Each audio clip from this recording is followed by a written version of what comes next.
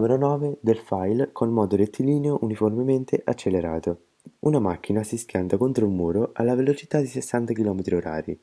L'urto è lo stesso che si avrebbe se la macchina cadesse al suolo da quale altezza?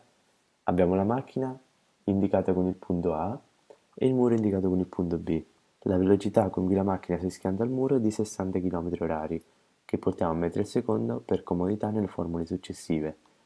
Quello che ci chiede il problema è di trovare da quale altezza dovrà essere lasciata cadere la macchina per far sì che essa si schianti al suolo con la velocità di 60 km/h. Dobbiamo concentrarci solo su questo disegno, senza guardare quello sopra. Facciamo il solito sistema con le due formule, a cui inseriamo le lettere.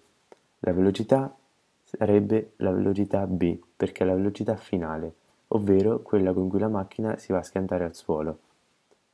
V0 può essere sostituito con Va perché Va è la velocità iniziale, che equivale a 0 e quindi viene eliminata sia sopra che sotto. Sotto viene eliminata anche la t perché moltiplicata per 0 fa comunque 0.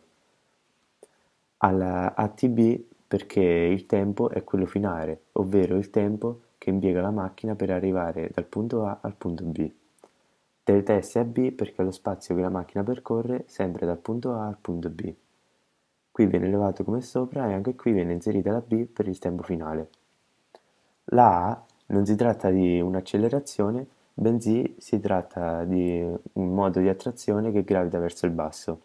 Quindi la A può essere indifferentemente sostituita con la G, che sarebbe 9,8 m al secondo quadrato. Noi lasceremo la A perché è indifferente.